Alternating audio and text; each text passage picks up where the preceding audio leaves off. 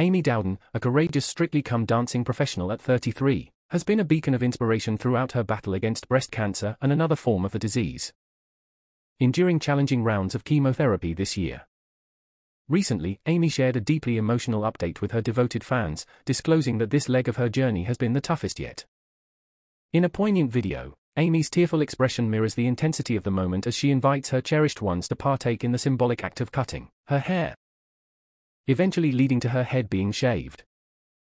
The raw and brave portrayal captures the essence of her strength, with loved ones tenderly supporting her every step of the way. Amy also captures the significance of the moment with selfies alongside her supporters, as a skilled hairdresser steps in to complete the cut. Both Amy and the hairdresser are visibly moved as her locks are trimmed short, culminating in the final, poignant shave. In a heart-wrenching moment, Amy's tears flow freely as a mirror is brought before her, flanked by the comforting presence of those who stand by her side.